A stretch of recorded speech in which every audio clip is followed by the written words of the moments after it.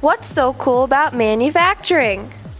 Hi, I'm Alex, and we're here at Bitronics in Bethlehem, PA to learn why manufacturing power measurement instruments is so cool. Hi, I'm Frank Wendt, and I'm the Vice President of Operations here at Bitronics. The Bitronics products are produced here in Bethlehem. Uh, we are a U.S. manufacturer with a long uh, heritage. We have uh, 45 people uh, here on site. About half of them are in the production area. We have a, a brusher, a sander, drill presses. We have two different mills.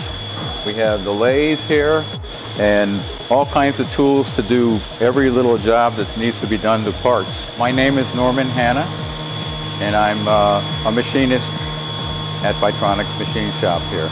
And I like working at Bitronics because it's, it's really interesting to see a part that, it, that comes from raw stock and is made into a really useful part in a meter. Hi, my name is Dan Wetzel. I'm the supervisor of the SMA line. Uh, I like my job because it's diverse. We have a lot of different things that we can do here. We machine our own parts, we build circuit boards, and we assemble. We build our own product from start to finish. Once it's done building the board, it will continue down the conveyor to an inspection station. The operator will look at the computer screen that we have in front of us with the picture, match that picture up with the circuit board to make sure the components are correctly placed on the board. What's cool about manufacturing with the SMA equipment, and with the push of a button, machine can place hundreds of components in just a few seconds. Right now I am check on the parts. Then we have to check, make sure they're not lip fit, and then we tack the rest. Then we slide them in later on. And it is wonderful. I love my job.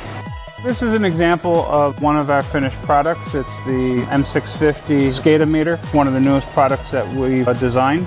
Most of these are installed in substations for customers that would include PP&L, ABB, Entergy. The proudest things, the labels say made in the USA and we're very proud that they're, they're made in the Lehigh Valley. If you're interested in learning more about manufacturing jobs, visit dreamitdoitpa.com.